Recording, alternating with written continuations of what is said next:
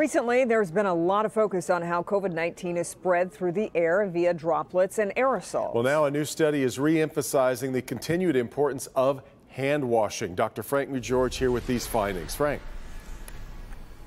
Yeah, Devin and Kimberly. You know, many months ago, I reported on a study showing that the SARS-CoV-2 virus can survive on cardboard for as long as 24 hours and stainless steel for 72 hours, highlighting the importance of cleaning surfaces that may have become significantly contaminated. The question remained, though, what about our skin? Well, now we have a startling answer. We know the SARS CoV 2 virus can be spread through droplets and aerosols, but you can also become infected by touching contaminated surfaces, then touching parts of your face. That begs the question how long can the virus actually survive on our hands and faces? Figuring out how long a contagious virus can survive on human skin isn't an easy challenge. Not many people are willing to have live SARS CoV 2 smeared on them just for science.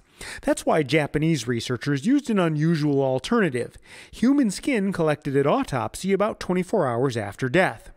Their study, published in the journal Clinical Infectious Diseases, tested the survival time of the SARS CoV 2 virus on human skin samples as well as other surfaces, including stainless steel and glass, and they compared it to the survival time of influenza A virus.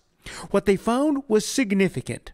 The SARS CoV 2 virus could survive on human skin for nine hours, significantly longer than the roughly two hours that the flu virus could remain a threat.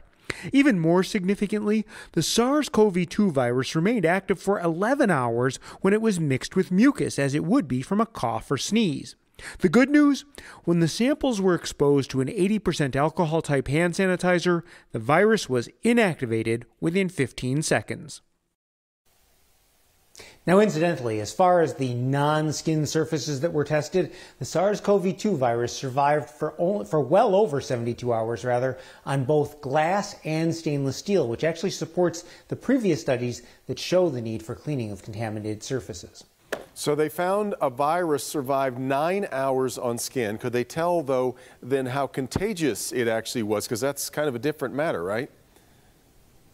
Yeah, exactly. No, they really couldn't. You know, what they could say was that it can survive for 9 to 11 hours depending on how much virus the skin was initially contaminated with. Over those hours, though, it could decrease to below the amount necessary to infect someone.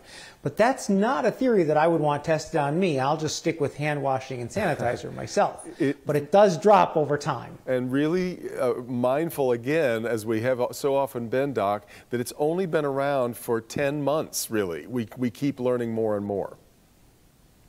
Exactly. Yeah. All right, Frank.